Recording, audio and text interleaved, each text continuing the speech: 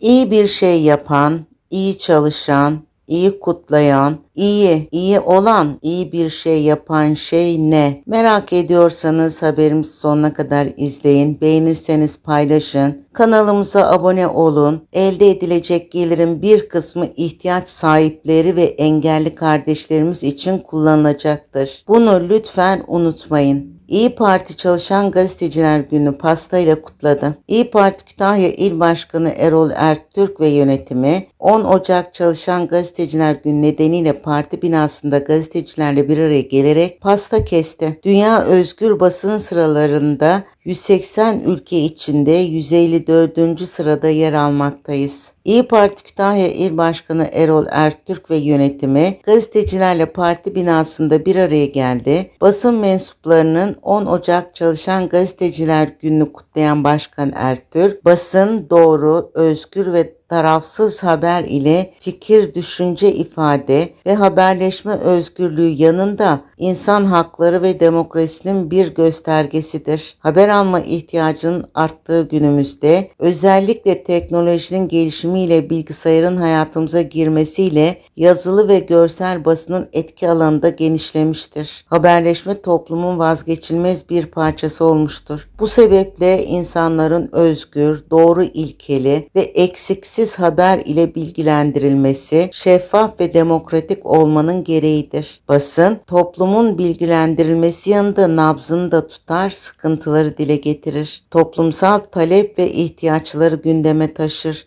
çözüme ulaşmada büyük fayda sağlarken şehirlerin gelişmesine de katkıda bulunur. Bilinçli bir toplum oluşturabilmek için gayret gösterirken zaman zaman çile çeker. Anayasamızda basın hür olduğu, sansür edilemeyeceği yazılı olmasına rağmen gerçek maalesef böyle değildir ülkemiz ve dünyada tehditler alan hatta suikaste uğrayanlar varken bu uğurda şehit edilen gazetecileri rahmetle anıyorum. Ne yazık ki günümüzde gerçek manada gazetecilik yapabilmek oldukça zordur. Ne pahasına olursa olsun yalan karşısında doğrunun, karanlık karşısında aydınlığın, haksızlık karşısında egemen olması için bu mesleği seçerek bu yola baş koyan cesur basın emekçilerinin 10 Ocak Çalışan Gazeteciler Günü kutlu olsun. Özellikle bugünkü pandemi ve ekonomik şartlarda gerçek manada gazetecilik yapanların zorluklarını göz ardı etmemek gerekmektedir. Yerel medyanın ayakta kalabilmesi, güçlendirilmesi için kapsamlı bir çalışma yapılmalı ve gerekli çözümler bir an önce hayata geçirilmelidir karşılaştığınız tüm zorlukların özlük haklarınızın da dahil olmak üzere en kısa sürede çözülmesini diliyor ve sizlere kolaylıklar diliyoruz. Maalesef dünya özgür basın sıralarında 180 ülke içinde 154. sırada yer almaktayız. Daha özgür, kalemi satılmama, tarafsız ve sıralamada en üst sıralara yükseldiğimiz günlerde de buluşmak dileğiyle tekrar gününüzü canı gönülden kutluyoruz ifadelerine yer verdi. Ve demokrasi demokrasinin bir göstergesi olan basın mensupları aramıza hoş geldiniz. Haber alma ihtiyacının arttığı günümüzde özellikle teknolojinin gelişimiyle, bilgisayarın hayatımıza girmesiyle yazılı ve görsel basının etki alanında genişlemiştir. Haberleşme toplumun vazgeçilmez bir parçası olmuştur. Bu sebeple insanların özgür, doğru, ilkeli ve eksiksiz haber ile bilgilendirilmesi şeffaf ve demokratik olmanın gereğidir. Basın toplumun bilgilendirilmesi yanında nabzını da tutar, sıkıntıları dile getirir, toplumsal talep ve ihtiyaçları gündeme taşır.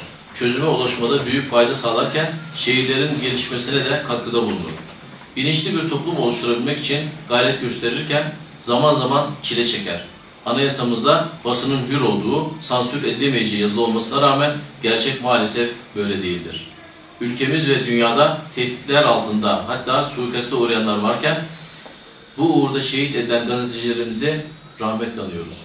Ne yazık ki günümüzde gerçek manada gazetecilik yapabilmek oldukça zordur. Her ne pahasına olursa olsun yalan karşısında doğrunun, karanlık karşısında aydınlığın, haksızlık karşısında hakkın egemen olması için bu mesleği seçerek bu yola baş koyan cesur basın emekçilerinin 10 Ocak Çalışan Gazeteciler Günü'nü kutluyoruz. Özellikle bu günkü pandemi ve ekonomi şartlarda gerçek manada gazetecilik yapanların zorluklarını göz ardı etmemek gerekmektedir. Yerel medyanın ayakta kalabilmesi, güçlenebilmesi için kapsamlı bir çalışma yapılmalı ve gerekli çözümler bir an önce hayata geçirilmelidir. Karşılaştığınız tüm zorlukların özlük haklarınızda dahil olmak üzere en kısa sürede çözülmesini diliyor ve sizlere kolaylıklar diliyoruz. Maalesef Dünya Özgür Basın sıralamasında 180 ülke arasında 154. sırada yer almaktayız.